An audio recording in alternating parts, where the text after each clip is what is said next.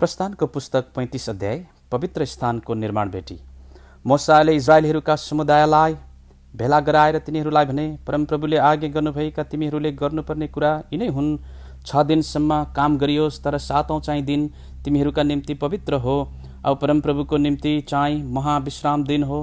कसैले त्यस दिन काम गर्यो भने त्यो मारियोस्। तिमीहरूका कुनै घरमा पनि विश्रामको दिनमा आगो नफुक्नु। त्यसपछि मसाले इजरायलीहरूका सारा समुदायलाई यसो भने परमप्रभुले आज्ञा गर्नुभएको कुरो यही हो। आफ्नो बीचबाट परमप्रभुको निम्ति भेटी ल्याओ। राजी खुसीसँग दिन चाहनेले परमप्रभुको भेटीको रूपमा त्यो ल्याओस् सुन चाँदी र पित्तल निलो बैगुने रातो र मसिनो सुती कपडा र बाख्राको भुत्ला रातो रङले रङ्गाएको भेडाको छाला शिलको छाला र बबुल काठ। प्रकाशको निम्ति तेल र अभिषेक गर्नलाई तेलको निम्ति र सुगन्धित धुपको निम्ति मसला एपोद र छाती पाताको निम्ति सुलेमानी पत्थर र जड्नको निम्ति मणि तिमीहरू मध्येका जति ज्ञानी छन् तिनीहरू सबै आएर परमप्रभुले आज्ञा गर्नुभएका सबै कुरा बनाउन्। पवित्र स्थान पाल र त्यसका छत गुणी घरहरू र फल्याकहरू बारहरू खामाहरू चुलघरहरू चन्दुक त्यसका डन्डाहरू कृपा आसन पर्दा टेबल त्यसका डन्डाहरू र त्यसका सबै पात्रहरू र भेटीको रोटी बत्तीको निम्ति पानस र त्यसका दियोहरू र बत्तीको निम्ति तेल धुप वेदी र त्यसका डन्डाहरू अभिषेक गर्ने तेल सुगन्धित मसला पवित्र स्थानको ढोकाको पर्दा होम वेदी त्यसका पित्तलका झिन्झिरी डन्डाहरू र त्यसका सबै पात्रहरू धुने बाटा त्यसका खुट्टा समेत चोकको पर्दा र त्यसका खामाहरू र त्यसका चुलगरहरू चोकको मूल ढोकाको निम्ति पर्दा पवित्र स्थानका किलाहरू चोकका किलाहरू र त्यसको डोरीहरू पवित्र स्थानमा सेवा गर्नको निम्ति बनाएका सुन्दर कपडाहरू हारोन पुजारीका निम्ति पवित्र पोसाकहरू र पुजारीहरूको काममा सेवा गर्नलाई तिनका छोराहरूका पोसाकहरू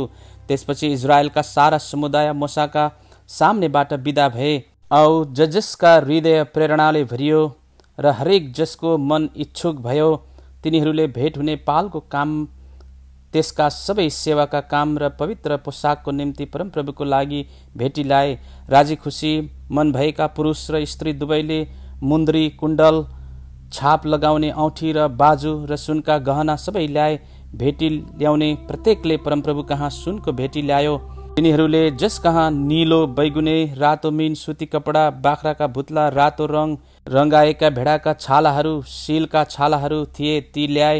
चाँदी र पित्तलका भेटी चढाउने सबैले परमप्रभुको निम्ति भेटी ल्याए जस जस कहाँ सेवाको कुनै कामको निम्ति बबुल काठ थियो त्यो तिनीहरूले ल्याए। आफ्ना हातले कातेका निलो बैगुने रातो र मिहिन सुती कपडा हुने बुद्धिमान स्त्रीहरूले ती ल्याए जसका हृदय ज्ञानले प्रोत्साहित भएका थिए। ती स्त्रीहरूले बाख्राका भुत्ला काते शासकहरूले एपोद र छाती पाताको निम्ति सुलेमानी पत्थर र जड्नको निम्ति मणिहरू ल्याए। औ बत्ती अभिषेक गर्ने तेल र धुपको निम्ति सुगन्धित मसला र तेल ल्याए परमप्रभुले मोसाद्वारा आज्ञा गर्नुभएका सबै कामको निम्ति मनमा इच्छुक भएको इजरायलीहरूका हरेक स्त्री र पुरुषले राज्य खुसीका भेटी ल्याए। तब मोसाले इजरायलीहरूलाई भने हेर परमप्रभुले यौदाको कुलको हुरको नाति उरीको छोरो बजलेललाई तिनको नाउँ लिएर नै बोलाउनु भएको छ। उहाँले तिनलाई परमेश्वरको आत्माले अर्थात् बुद्धि समझ र ज्ञान र सबै किसिमको शिल्पकारीको आत्माले परिपूर्ण पार्नु भएको छ। तिनले सुन चाँदी पित्तल र जड्नको निम्ति पत्थर काट्ने काममा र काठ खोप्ने काममा र सबै किसिमका शिल्पकारीमा खुब असल काम निकालुन् भन्ने ध्येयले हो। तिनले र दानको कुलको अहिसामाको छोरो ओहोली आबका मनमा यो कुरा अरूहरूलाई तिनीहरूले सिकाउन् भनेर प्रेरणा हालिदिनु भएको छ। तिनीहरूले सबै किसिमको शिल्पकारी अर्थात् खोप्ने काम औ निलो बैगुने रातो र मिहिन सुती कपडामा सिप निकालुन् औ बुट्टा काट्ने र बुन्ने काममा सबै किसिमका शिल्पकारीहरूका निपुण काम गरून् भनी तिनीहरूलाई उहाँले बुद्धिले परिपूर्ण पार्नु भएको छ।